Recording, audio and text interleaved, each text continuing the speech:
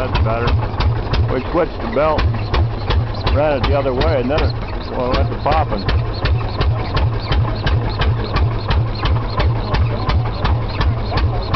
I guess he thought if he's got the belt from behind from, instead of from in front, he didn't have to twist it, but that's not the case.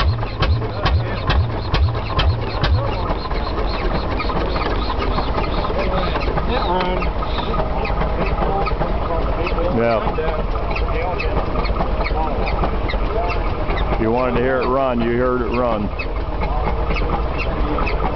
So much for the bull. Needs a little tinkering. Most of these tractors are going to need a little bit of mothering if you're going to take them to the field.